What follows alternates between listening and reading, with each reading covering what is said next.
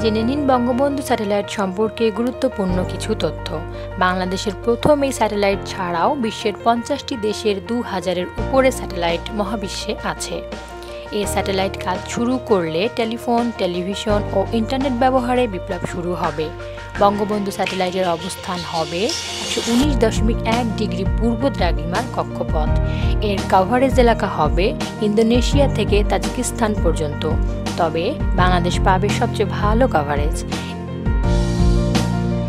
এই স্যাটেলাইটের ওজন তিন দশমিক সাত টন। এটি তৈরি হয়েছে ফ্রান্সের থ্যালাস অ্যালেনিয়া স্পেস কোম্পানিতে। আর মহাকাশে গেছে আমেরিকার ফ্লোরিডা থেকে। দু হাজার সাতশো পঁয়ষট্টি কোটি টাকা ব্যয়ে তৈরি এ স্যাটেলাইটের স্থায়িত্বকাল হতে পারে পনেরো থেকে আঠারো বছর। চূড়ান্ত কক্ষপথে যেতে এর সময় লাগবে দশ থেকে এগারো দিন। বঙ্গবন্ধু এক কাজ শুরু করবে তিন মাসের মধ্যে। ভিডিওটি ভালো লাগলে অন্যদের সাথে শেয়ার করুন এবং চ্যানেলটি সাবস্ক্রাইব করুন। ধন্যবাদ।